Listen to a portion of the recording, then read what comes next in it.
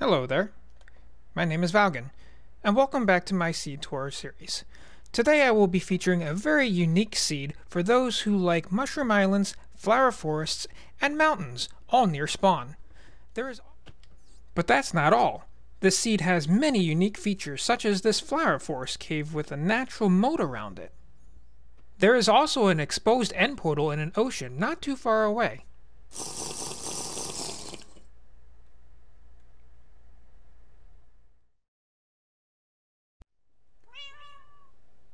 This seed, in the current 1.16 version of the game, has every biome and structure within approximately 2,000 blocks from world spawn.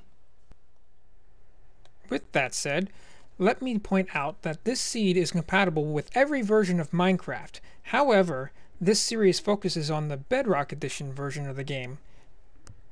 So, without further ado, sit back and enjoy the tour.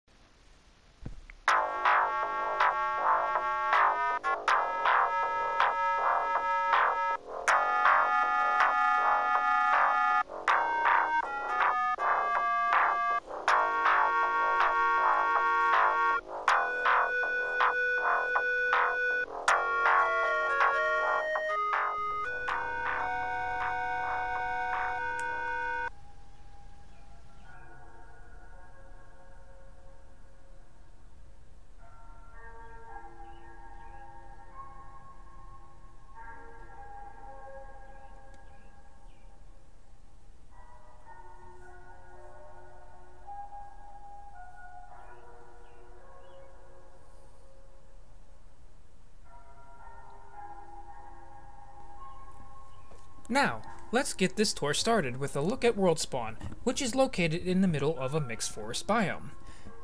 As you can see, the forest is surrounded on three sides by mountains. I've marked the exact spawn point with this here target block, which happens to be on top of an oak tree. Down below, underneath this tree, is where the starter chest will spawn. Now let's travel up vertically to get a better view of the world spawn. As you can see, there are mountains and hills surrounding the area on all sides except for the north, where there is a decent sized lake.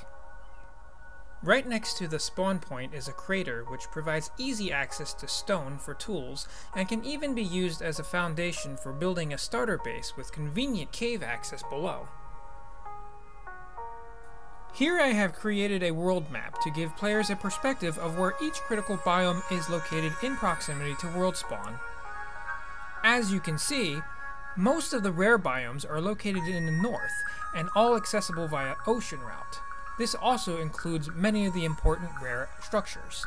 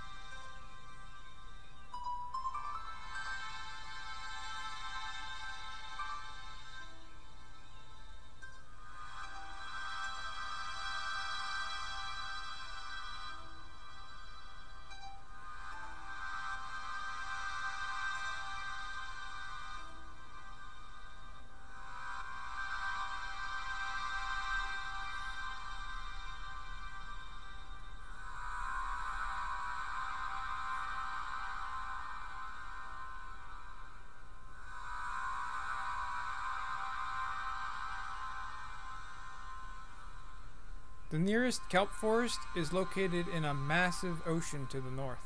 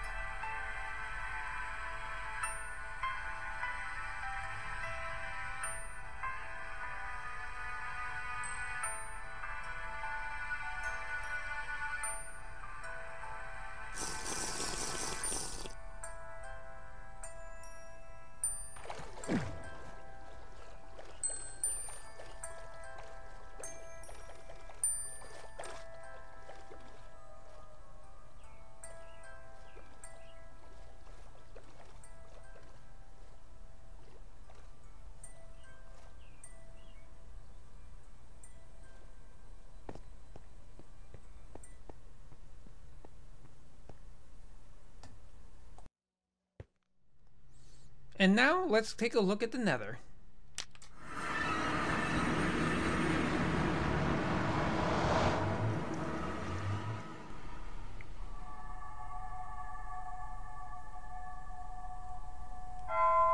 Unfortunately, this seed's nether spawns you in a soul sand valley biome. But, if you enter via a portal at world spawn, you at least get placed in this small cave which provides some safety.